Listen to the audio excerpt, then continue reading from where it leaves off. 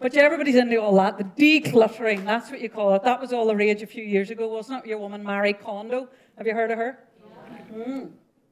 You're doing her, aren't you? Not in the biblical sense, obviously. Yeah, no, that's what she was all about. I think it all came to a head really during lockdown when everybody was spending so much time at home and they're looking around a house going, jeez, I live in a dump.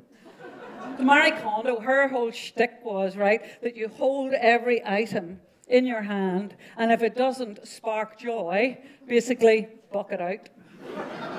in the vernacular. Well, see, when she brought out that book, divorce rates went through the roof. Women everywhere holding their husbands going, no, this isn't sparking anything. Resentment, irritation, extreme lack of interest, right? He can go in the bag for Oxfam.